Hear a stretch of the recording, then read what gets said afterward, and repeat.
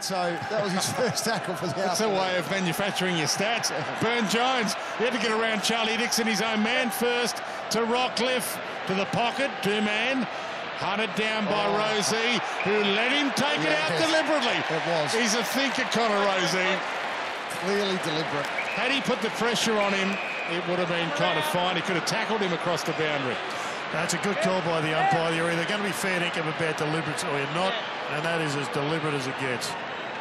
No, just no urgency there from two-man. To put a cherry on top of an outstanding year for Connor Rozee. He bends it. what Connor Rozee can't do can't be done. He's a superstar.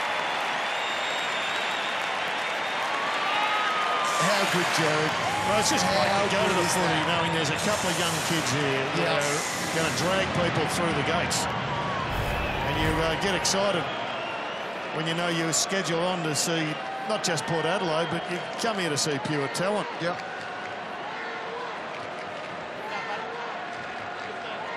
And that's why he got the opportunity. A little fumble across the line. Not sure why blokes continue to do it.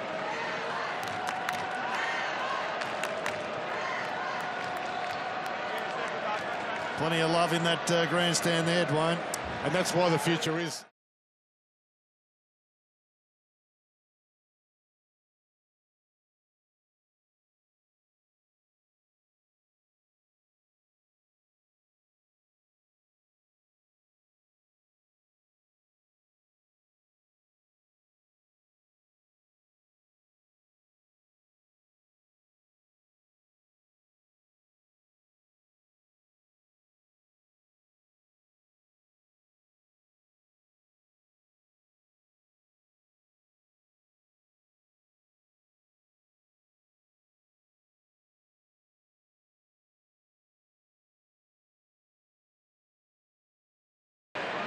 For Connor Rozee.